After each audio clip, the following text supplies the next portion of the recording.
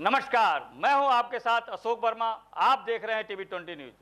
खबरों का सिलसिला जारी है, बने रहिए हमारे साथ। जिलाधिकारी राजेश कुमार व पुलिस अधीक्षक त्रिवेणी सिंह की अध्यक्षता में कलेक्ट्रेट सभागार में कोविड 19 से बचाव और रोकथाम के दृष्टिगत संबंधित अधिकारियों के साथ बैठक संपन्न हुई। इस अवसर पर जिलाधिकारी ने बताया कि जनपद में जितने भी कोरोना पॉजिटिव एक्टिव केस हैं, उनकी क्लोज कंटेक्ट हिस्ट्री की ट्रेसिंग करने के लिए नई टीम का गठन किया गया है, जिसमें स्वास्थ्य विभाग, ग्राम विकास, पुलिस विभाग एवं बेसिक शिक्षा विभाग के शिक्षकों को दायित्व प्रदान किया गया है।